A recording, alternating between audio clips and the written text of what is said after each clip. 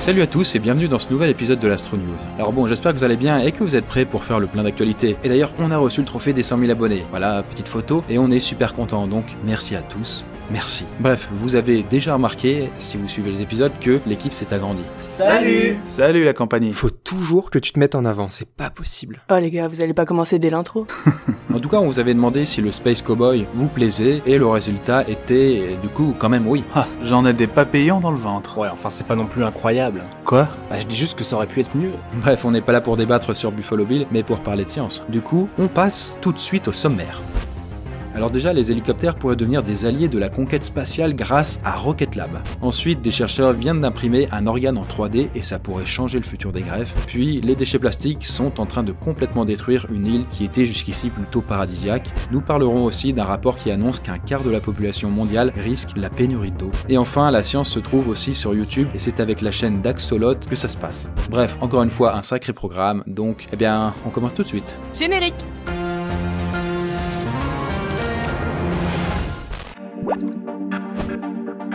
Construire une fusée et la lancer, c'est très cher, genre des centaines de millions d'euros ou de dollars quoi. Alors quand on sait que c'est à usage unique, eh ben ça pique un peu hein. Du genre, bah, une fois que la fusée est utilisée, eh bien elle va s'échouer dans l'océan et c'est terminé. Et du coup, les sociétés aérospatiales essaient de réutiliser certaines parties de leurs lanceurs. Ouais, SpaceX est le pionnier dans ce domaine d'ailleurs. Carrément Arnaud, c'est eux qui ont ouvert la voie au recyclage. Mais aujourd'hui, on va parler du Rocket Lab, une autre entreprise américaine. Alors, Rocket Lab a annoncé qu'ils allaient récupérer le premier étage de leur lanceur Electron pour pouvoir le réutiliser après chaque lancement. Et ils vont s'y prendre d'une façon plutôt originale. Euh, c'est-à-dire? Eh bien, ma chère Constance, contrairement à l'étage du Falcon 9 qui atterrit tout seul sur Terre, eh bien ici, il va être attrapé en plein vol par un hélicoptère. Bon, pour entrer dans les détails, vu que ce lanceur est très léger, son indice constructif est assez élevé. On comprend rien, Chris. Bien Eric, euh, je vais t'expliquer tout ça. En fait, plus un truc est petit, plus il va s'abîmer en rentrant sur Terre, notamment à cause de la chaleur. Et plus un lanceur est gros, plus il sera costaud, solide. Donc là, en fait, il ne va pas pouvoir atterrir, car sinon il s'écraserait comme un boulet sur le sol. L'idée de Rocket Lab est donc de freiner la descente du lanceur avec un parachute et puis d'envoyer un hélicoptère pour l'attraper en plein vol. L'hélicoptère aura simplement un crochet pour attraper le fil entre le lanceur et son parachute. Et une fois qu'il aura chopé sa cible, eh bien il la ramènera en douceur sur la terre ferme. Comme à la pêche au canard Ah ouais Arbo, si tu veux. Voilà le plan. On fait le tour en hélicoptère. On survole le Lancaster pour repérer les failles. Oubliez pas, on est juste deux touristes américains ordinaires.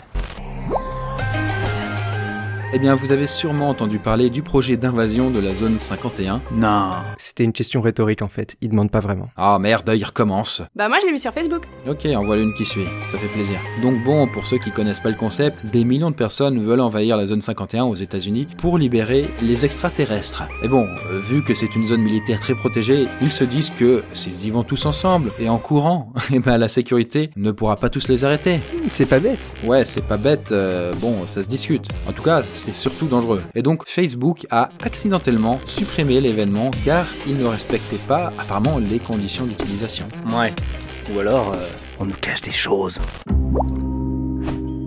Des scientifiques de l'université de Carnegie Mellon ont réussi à créer une valve cardiaque. Bon, un bout de cœur quoi. Le tout en collagène avec une imprimante 3D. Alors là-dessus, vous voyez, c'est une nouvelle assez importante puisque ça veut dire qu'on pourrait peut-être créer des organes sur mesure en un claquement de doigts. Et ça, c'est vraiment cool. Le mot cool est lâché pour tous les gens qui ont besoin d'une greffe.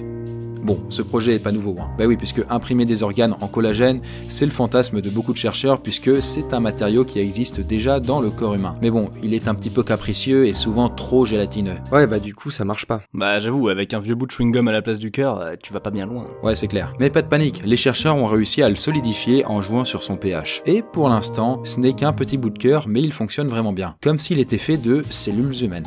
Du coup, à court terme, l'impression en 3D pourrait permettre de réparer des organes existants, genre un bout de foie qui est défaillant ou même une partie du cœur. Mais pour ce qui est de transplanter des organes entiers, va falloir quand même attendre. Pourquoi tu l'as pas dit plus tôt? Figure-toi qu'il y a plein de procédures dans le domaine de la santé. Eh ouais, tout à fait. Genre, avant d'avoir le premier poumon en collagène, bah va falloir y avoir des tests sur des animaux, puis des tests cliniques sur des humains. Donc tout ça, ça prend du temps quoi. Donc c'est pas pour tout de suite, mais c'est quand même très prometteur. Passez-moi le nouveau cœur. Quoi? Passez-moi le nouveau cœur. Pas encore fait l'injection. Donnez-le-moi.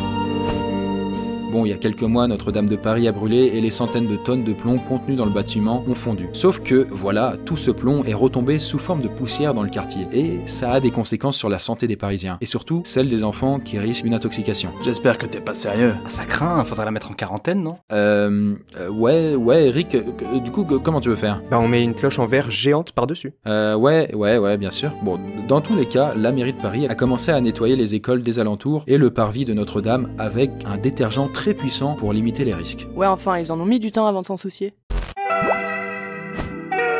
Bon, je vous plante le décor, vous êtes sur une île paradisiaque avec une plage de sable blanc, de l'eau turquoise et des poissons multicolores. Tout est magnifique. Ah ouais Oui, tout à fait, c'est magnifique, je, je crois que je l'ai dit. Sauf que vous remarquez un petit quelque chose dans les vagues. Mais qu'est-ce que c'est? Du plastique Eh oui, tout à fait, du plastoc. Des milliers de déchets plastiques, plus exactement, envahissent votre belle plage. Ils viennent de la mer et ils vous étouffent complètement. Voilà, bienvenue sur l'île d'Anderson. Alors, cette île a été classée au patrimoine de l'UNESCO en 1988 car elle a une écologie très impressionnante. En fait, elle se trouve pile poil sur le chemin des grands courants océaniques. Du coup, eh bien, la faune et la flore sous-marine y sont très riches. Et tu nous as même pas dit où elle est cette île? Euh, ouais, pardon. Bah, c'est pas à côté puisqu'elle est perdue au milieu de l'océan Pacifique, entre la Nouvelle-Zélande et le Pérou. Bah, si c'est une petite île perdue au milieu de l'océan Pacifique, c'est pas très grave, non? Mais non, Eric, puisque figure-toi qu'on est beaucoup plus lié à cette île que tu le crois.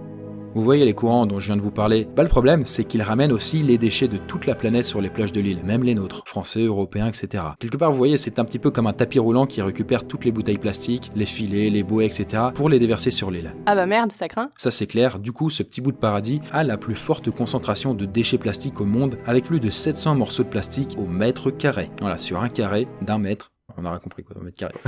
Et même si des scientifiques ont nettoyé les plages, de nouveaux déchets arrivent sans cesse. Allemagne, États-Unis, Chili, France, bref, la Terre entière participe à la pollution de cette île. C'est pas une légende. On jette vraiment tout ici.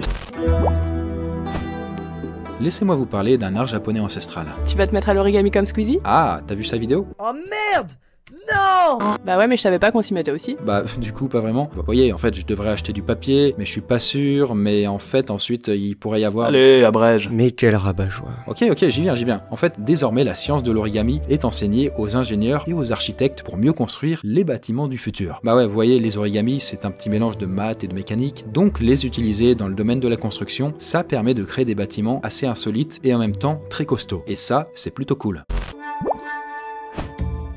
Ce mardi 6 août, le World Resources Institute a publié un rapport sur la pénurie d'eau, et c'est pas du joli. Mais non, pas encore. Au pire, tu sais que les scénarios catastrophes, c'est sur poisson fécond. hein. Et l'humanité a encore une fois 99% de chances de s'éteindre, après une lente agonie. C'est pas faux, mais bon, tu comprends, c'est la science qui veut ça. Donc du coup, le rapport indique qu'un quart de la population est en situation de stress hydrique très grave. C'est-à-dire qu'ils approchent du jour zéro, le jour où il y a plus du tout d'eau disponible. Et ouais, le jour où tu auras beau tourner le robinet, plus rien n'en sortira. Cette situation de crise concerne 17 pays qui se situent principalement en Afrique et au Moyen-Orient. On parle du Qatar, d'Israël, du Liban, de l'Iran, de la Jordanie, la Libye, le Koweït, l'Arabie Saoudite, l'Érythrée, les Émirats Arabes Unis, Saint-Marin, Bahreïn, le Pakistan, le Turkménistan, Oman, le Botswana et de l'Inde. Arnaud, respire, respire, ça va bien se passer. Hein. Après, oui, dans ces pays, plus de 80% de l'eau disponible est utilisée. Entre les industries, l'agriculture, les villes. Du coup, bah, il n'y a pas tant de réserves que ça en cas d'imprévu, quoi. Bon, parlons un petit peu des problèmes liés à la pénurie d'eau, puisque déjà, évidemment, on a besoin d'eau pour vivre, donc si on n'a pas, c'est la merde. Bilan, tout le monde meurt. Ouais, je sais, mais on n'en est pas encore là. En fait, le stress hydrique, donc le fait d'avoir peur de manquer d'eau, ça a plein de conséquences. Alors déjà, ça entraîne une insécurité alimentaire, des conflits politiques, on pense par exemple à la guerre de l'eau notamment, mais aussi des migrations. Du coup, vu que l'eau c'est quand même vraiment vital, le rapport invite à réfléchir à sa consommation et surtout à essayer de réutiliser le plus d'eau que possible. Ouais, quand on pense qu'on tire la chasse avec de l'eau potable. Ouais, c'est sûr, vu sous cet angle, c'est pas très raisonnable. Reste calme. Je vais aller à l'épave voir ce que je trouve. Peut-être de l'eau. Bon, écoutez, pour tous les FDP... euh, Plaît-il T'inquiète Arnaud, ils connaissent. Oui, donc, euh, pour tous les fans d'astronomie, et surtout ceux qui s'intéressent aux exoplanètes, on vous conseille d'aller voir le documentaire qui est sorti sur la chaîne d'Axolot, du nom de Chasseur de Monde, qui était vraiment excellent. La vidéo est super stylée, et surtout elle a été faite en collaboration avec Michel Mayor, qui est un grand astrophysicien, et Alexandre Astier, qui donne son point de vue plus artistique et philosophique sur la question. Et justement, en bonus de ça, on a une interview notamment d'Alexandre Astier, qui dure une quarantaine de minutes, et qui en soi est aussi un petit bijou, donc extrêmement intéressante. On parle pas souvent sur la chaîne du coup des autres chaînes qu'on peut aller voir, mais vraiment ça peut valoir le détour et on aimerait justement eh bien, pouvoir euh, vous recommander d'autres sujets liés à ça euh, dans le futur. Donc euh, allez checker quoi. Et bien voilà, c'est tout pour aujourd'hui, j'espère que cette vidéo vous a plu, n'hésitez pas à nous donner des idées pour un prochain focus, dans les commentaires. On aime bien savoir ce que vous en pensez. Et c'est le retour du sondage. Et ouais, n'oubliez pas de voter pour votre actu préféré, ça se passe en haut, à droite. Tout à fait, tout à fait. Bon, abonnez-vous à la chaîne si c'est pas déjà fait, et puis, hein, dis à la prochaine. Ciao. Salut. À la prochaine. À la revoyure. Salut les gars. Oui, très bien, super, on a compris. Allez, salut, salut.